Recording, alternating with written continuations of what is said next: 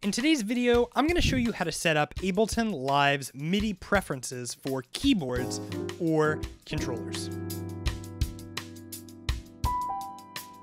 Brett Pontecorvo here from LiveKeyboardist.com, where I help keyboard players just like you with the ins and outs of live performance software, with building a stable live keyboard rig, and with sound design. If you're new here, please consider hitting that like and subscribe button. All right, so the preferences in Ableton are actually quite simple. So I'm to go ahead and open the preferences, and the Mac shortcut for that is Command Comma. Now up here we have some things that are not totally relevant to this video, so I want to focus on what's going on down here. Now this first area here says MIDI, but really what it means is MIDI control. So if you have a controller like Ableton Push, or perhaps you have a launch control of some sort, um, this is where you would set all of that stuff up. Now, by default, most of the time, with the exception of very certain specific controllers, I don't want any knobs or faders pre-mapped because we don't want any accidents, right? So if you set input or output to none, then you won't have any pre-maps. So that's my suggestion for what to do. Now let's jump down here because the meat and bones of all of the Ableton preferences are in these MIDI ports.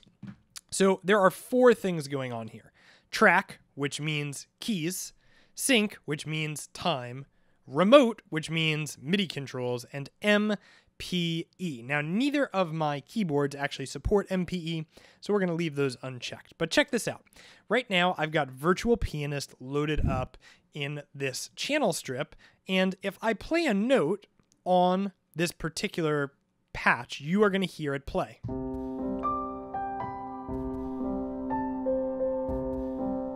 Okay?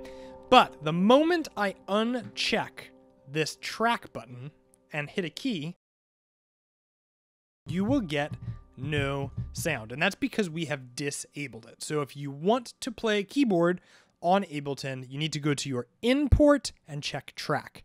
Now, if you want to control something within Ableton, you need to check the input remote. So, for example, perhaps I want to control the dark light of this virtual pianist plugin. Well, if I go into MIDI mapping mode and I map a fader, I'm going to have control over that. However, if I uncheck remote, that very same control will no longer work. And that's because we have disabled it. Now, once you have everything set up correctly, which always really comes down to are your MIDI inputs set up correct? You also have the ability to separate out things into two different channels. So, Virtual Pianist right now is set up to have MIDI from all inputs, but I can choose just Keylab. And then when I play,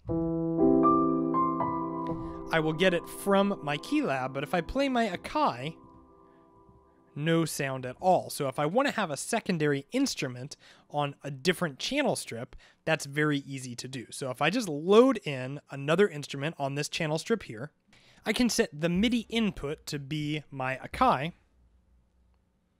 And now I could have complete separation of these two different things.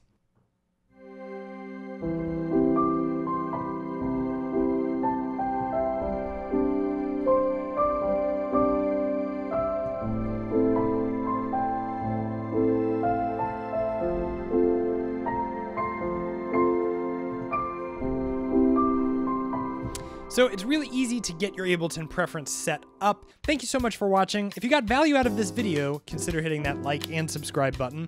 And I'll see you next time at livekeyboardist.com.